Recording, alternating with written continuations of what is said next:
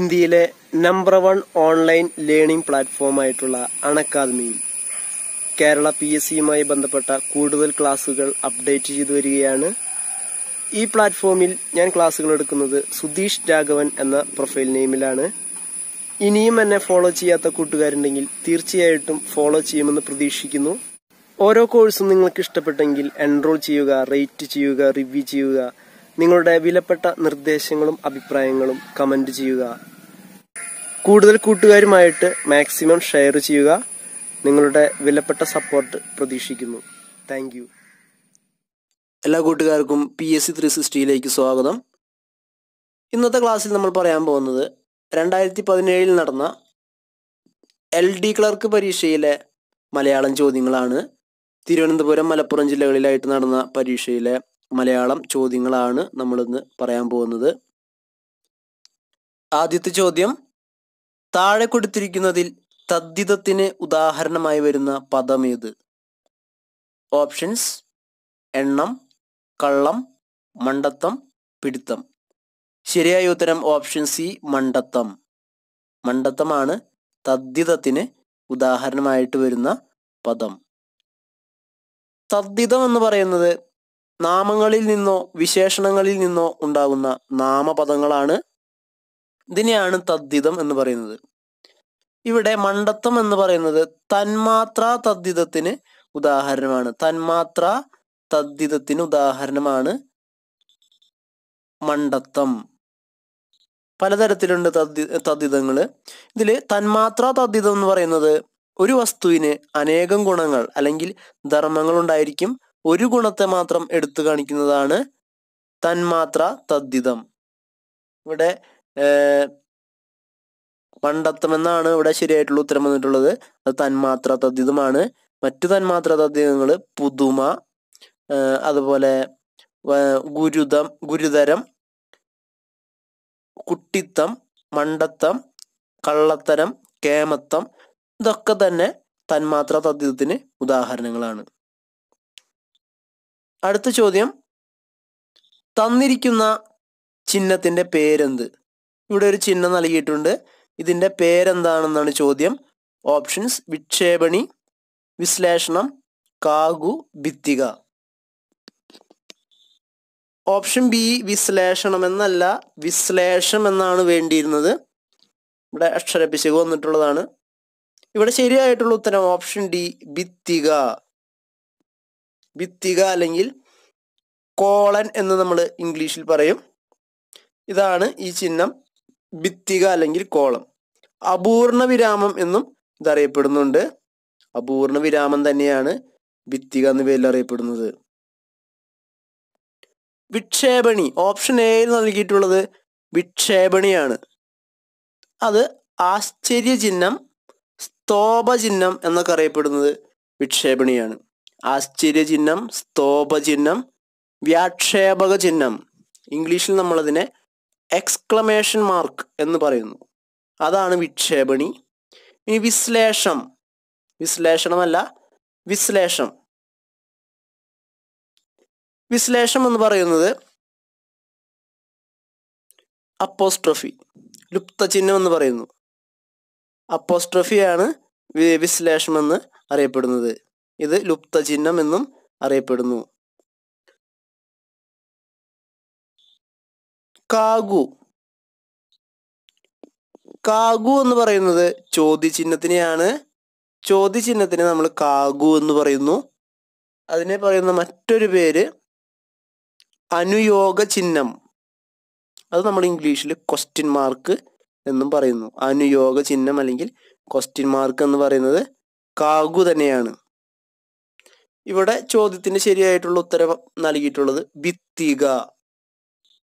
ഭിത്തിക അല്ലെങ്കിൽ കോളൻ. ഇംഗ്ലീഷിൽ നമ്മൾ കോളൻ എന്ന് പറയും. അപൂർണ വിരാമം. അടുത്ത ചോദ്യം. വികലമല്ലാത്ത പ്രയോഗം ഏതെന്ന് തിരിച്ചറിയുക. ഓപ്ഷൻസ് സമകാലൻ സമകാലികൻ സമകാലീനൻ സമാനകാലീനൻ. ശരിയായിട്ടുള്ള ഉത്തരം? ഓപ്ഷൻ ബി സമകാലികൻ. സമകാലികനാണ്. ഇവിടെ വികലമല്ലാത്ത പ്രയോഗം. മറ്റുള്ളതൊന്നും ശരിയായിട്ടുള്ള പ്രയോഗങ്ങളല്ല. സമകാലികനാണ് ശരിയായിട്ടുള്ള പ്രയോഗം.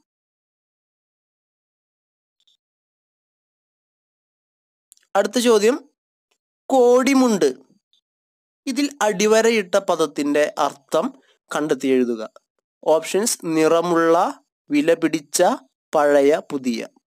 കോടി എന്ന് പറയുന്നത് പുതിയ വസ്ത്രങ്ങളെയാണ് നമ്മൾ കോടി എന്ന് പറയുന്നത്. നമുക്കറിയാം. ഓണക്കോടി എന്ന് പറയുന്നത് പുതിയ വസ്ത്രങ്ങളെയാണ്.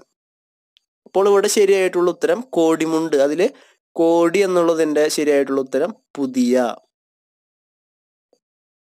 അടുത്ത ചോദ്യം. ധനാശി പാടുക എന്ന ശൈലിയുടെ അർത്ഥം വരുന്ന രൂപം ഏത്? ധനാശി പാടുക. ഓപ്ഷൻസ്. അവസാനിക്കുക തുടങ്ങുക കൂലി കൊടുക്കുക പണത്തിന് പാടുക. ശരിയായ ഉത്തരം അവസാനിക്കുക എന്നതാണ്. കഥകളിയിലെ അവസാനത്തെ ചടങ്ങാണ് ധനാശി എന്നറിയപ്പെടുന്നത്. അങ്ങനെ ഉണ്ടായ ഒരു ശൈലിയാണ് ധനാശി പാടുക. എന്തെങ്കിലും അവസാനിക്കുന്നതിന് പറയുന്നത് ധനാശി പാടുക എന്നാണ്. കാരണം കഥകളിയിലെ അവസാനത്തെ ചടങ്ങാണ് ധനാശി.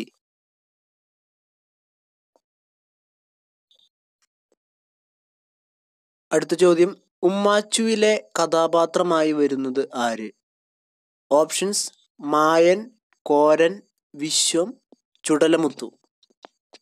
ശരിയായ ഉത്തരം ഓപ്ഷൻ എ മായൻ. ഉറൂബിന്റെ ഉമ്മാച്ചു എന്ന കൃതിയിലെ കഥാപാത്രമായിട്ട് വരുന്നത് മായനാണ്. ഇനി ഓപ്ഷൻ ബിയിൽ കൊടുത്തിട്ടുള്ള കോരൻ. തകഴിയുടെ രണ്ടിടങ്ങഴി എന്ന കൃതിയിലെ കഥാപാത്രമാണ് കോരൻ. Option C Vishwam.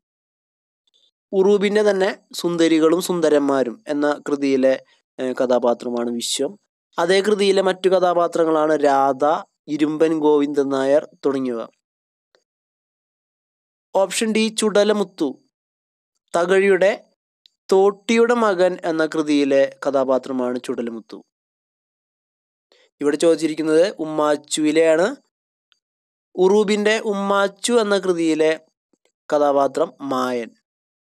ഉറൂബിന്റെ തന്നെ സുന്ദരികളും സുന്ദരന്മാരും എന്ന കൃതിയിലെ കഥാപാത്രം വിശ്വം. അതിലെ മറ്റു കഥാപാത്രങ്ങൾ രാധ ഇരുമ്പൻ ഗോവിന്ദൻ നായർ. കോരൻ എന്ന കഥാപാത്രം രണ്ടിടങ്ങഴി തകഴിയുടെ രണ്ടിടങ്ങഴി എന്ന നോവലിലെ കഥാപാത്രമാണ് കോരൻ. ചുടലമുത്തു തകഴിയുടെ തോട്ടിയുടെ മകൻ എന്ന കൃതിയിലെ കഥാപാത്രമാണ്. ഇതുപോലെ കൃതിയും അതുമായി ബന്ധപ്പെട്ട കഥാപാത്രങ്ങളും ചോദ്യങ്ങളും വരാറുണ്ട്. ഭ്രാന്തൻ ചാന്നാൻ. അത് സി- വി രാമപിള്ള എഴുതിയ മാർത്താണ്ഡവർമ്മയിലെ കഥാപാത്രമാണ് ഭ്രാന്തൻ ചാന്നാൻ അതുപോലെ ചന്ദ്രക്കാരൻ. അദ്ദേഹത്തിന്റെ തന്നെ ധർമ്മരാജ എന്ന നോവലിലെ കഥാപാത്രമാണ് ചന്ദ്രക്കാരൻ. സി വി രാമപിള്ള എഴുതിയതാണ് ഓടയിൽ നിന്ന് എന്ന നോവലിലുള്ളത് പപ്പു. ഒരു ദേശത്തിന്റെ കഥ എന്ന കൃതിയിൽ ശ്രീധരൻ. നാലുകെട്ടിലെ അപ്പുണ്ണി. ചെമ്മീനിലെ ചെമ്പൻകുഞ്ഞ്. ഇതൊക്കെ തന്നെ ചോദ്യങ്ങൾ വരാറുള്ളൊരു മേഖലയാണ്. അടുത്ത ചോദ്യം ആഷ മേനോൻ എന്ന തൂലികാനാമത്തിൽ അറിയപ്പെടുന്നത് ഏത് എഴുത്തുകാരനെ ആണ്? Options C V Sreeraman K Sreekumar U K Kumaran P Sreedharan Pillai. ശരിയായ ഉത്തരം option B K Sreekumar. K Sreekumar ആണ് ആഷ മേനോൻ എന്ന തൂലികാനാമത്തിൽ അറിയപ്പെടുന്നത്. ഇനി മറ്റു ചില തൂലികാനാമങ്ങൾ ചോദ്യം വരാറുള്ള കുറച്ച് തൂലികാനാമങ്ങൾ നമുക്ക് നോക്കാം. കോവിലൻ എന്ന പേരിൽ അറിയപ്പെട്ടിരുന്നത് കോവിലൻ. വി. വി. അയ്യപ്പനാണ് കോവിലൻ എന്ന പേരിൽ അറിയപ്പെട്ടിരുന്നത്. അടുത്തത് ആനന്ദ്. ആനന്ദ് എന്ന തൂലികാനാമത്തിൽ അറിയപ്പെട്ടിരുന്നത് പി. സച്ചിദാനന്ദനാണ്. പി. സച്ചിദാനന്ദനാണ് ആനന്ദ് എന്ന പേരിൽ അറിയപ്പെട്ടിരുന്നത്.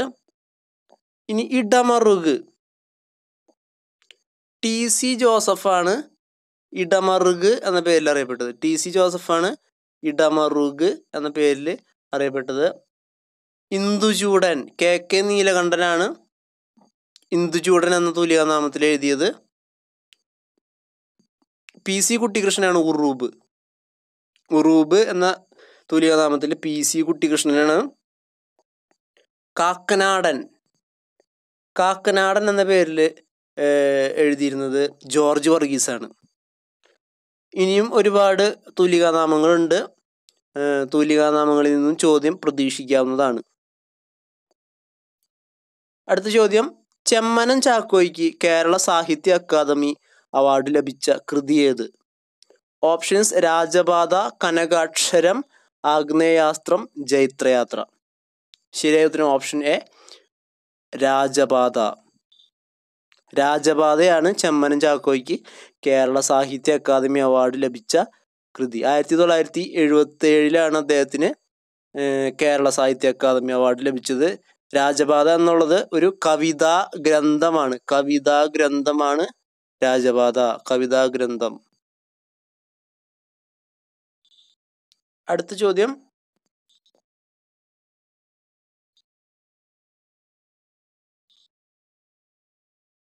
Wash dirty linen in public എന്നതിന്റെ ഉചിതമായ മലയാള ശൈലി കണ്ടെത്തുക.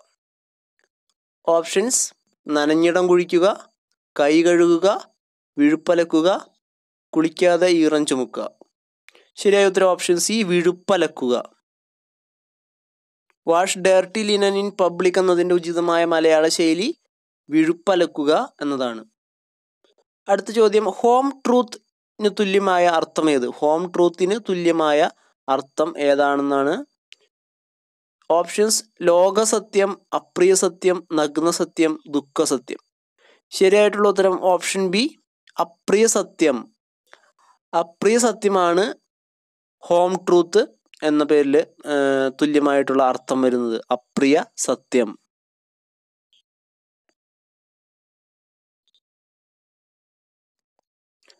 ഇന്നത്തെ ക്ലാസ് നിങ്ങൾക്ക് ഉപകാരപ്പെട്ടു എന്ന് പ്രതീക്ഷിക്കുന്നു. ഉപകാരപ്പെട്ടെങ്കിൽ തീർച്ചയായിട്ടും കൂടുതൽ കൂട്ടുകാരുമായിട്ട് ഷെയർ ചെയ്യുക.